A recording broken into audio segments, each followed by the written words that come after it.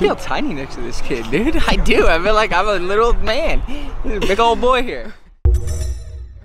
Yo, what's up, guys? Luke Callaghan, the Disc Golf Kid here. I'm joined with Nikko Locastro. First off, what is your favorite tournament you've played this year and why? Honestly, it's going to be the Preserve Championship because it was my first Disc Golf Pro Tour event, and I just had a really good vibe. I got to camp out there, and my good friend Cale Leiviska, you know, that was his first time running and organizing uh, a course on his property. So I feel like that that was just a, a overall amazing feeling for me to uh, to win a disc golf pro tour event since I never have before, and it was just it was very satisfying to be there the whole week. I was just vibing with everybody, with friends, and had a really good time. Yeah. All right. So next up, what are some of your main goals for next year? I want to be the hardest working disc golfer in the world, and that's that's my commitment to myself right now. I'm 32 years old, and uh, I feel like this year. I was dedicated, but I believe that I can unlock a next level of dedication, and I know that's what I'm going to do at this point, and sticking to that. I'm, I'm going to work very, very hard for 2021. Awesome. So pretty similar to that, what are some of your goals for the rest of your career? I want to be a world champion. That was my main goal since I started playing disc golf was to have my name next to the title world champion. And that's something I think about every single day of my life. So I'd say that's my main goal. I'd also like to win another US title, at least one more, maybe more. So we'll, we'll see how it plays out next year. But I have I have a lot of goals going into next season. But those two are uh, something that run through my mind every single day. Being yeah. a world champion, and I'd also like to win a European Open as well. That's a good one. That's mm-hmm. a fun course. If you could go back in time and tell your 13 year old self one thing, what would it be? Only one. Believe in yourself.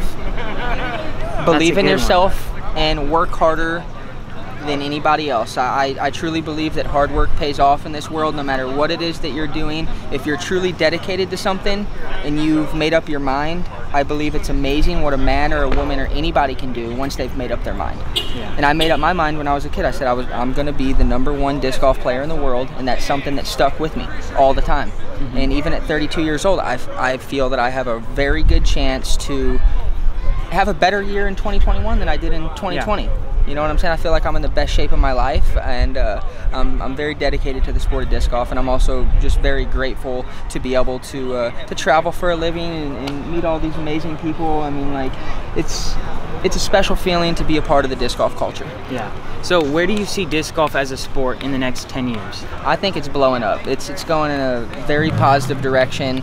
I see an impact in communities all across the United States and across the world, and I think with the amount of people that are pushing to make disc golf bigger and bigger and bigger, it's only going to grow. You know, this course is only three weeks old. I mean, they've been they've been working really hard to. Uh, to have a big tournament in this area, you know, down south, and, and you know, put put an A tier on in South Carolina. So yeah. it's growing everywhere. I see I see big things happening for this. I mean, kids like you are coming. Look at you. I mean, I'm 32. Look how tall you are, kid. You practice all the time. I've seen your skills. But you're going to be up there in the next few years. So I see uh, I see a lot more young players actually that are going to have a chance to win tournaments, and I think there's a there's a lot of reasons behind that.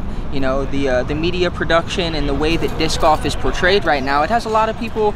Uh, practicing. You know what I'm saying? They have a lot of pros to look up to and a lot of people to watch on the television to, you know, learn the, the proper technique and everything like that. But, you know, I have a lot of things going on right now, man. I'm super grateful. You know, you gave me an interview, kid. I, I see you coming up in the sport. I've been following you for quite some time, and I'm, uh, a long I'm looking time. For, yeah, I he, he was actually probably one of my first followers. Yeah. Like within a yeah. hundred. I followed you right away. I was like, this kid's gonna be somebody. I could tell by your demeanor, your attitude, and your passion for the sport of disc golf. So uh, I really wish you the best in the, in the upcoming future, man. And I think some great things are in store for uh, for everybody involved in disc golf. Honestly. Thank you. So last question: What was your first ever tournament win? And give as many details as possible if you can remember. My first ever tournament win, I believe it was at Ozark Mountain, which was a, a private disc golf facility that had three disc golf courses in one location. It was on my family property, and uh, it was just you know that that was a, a special feeling for me. Uh, you know, just coming up as a kid and something that, that kind of got me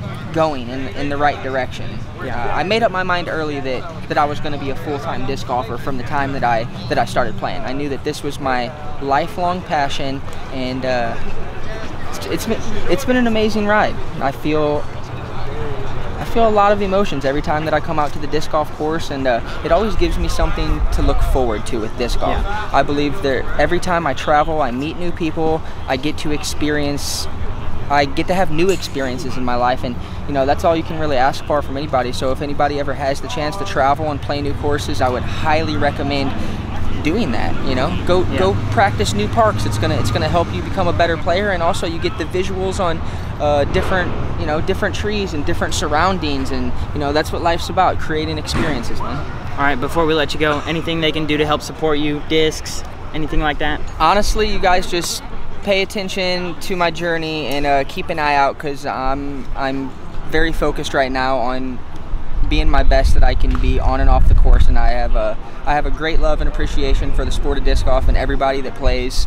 Uh, looking forward to, uh, to 2021. 2020's you know slowly coming to an end here. We're wrapping it up. It's one of my last big tournaments of the year. I got at least two more planned, but uh, yeah, all the big tournaments are done. Looking forward to making an impact in 2021. So you guys, you know, keep watching. It's gonna be great.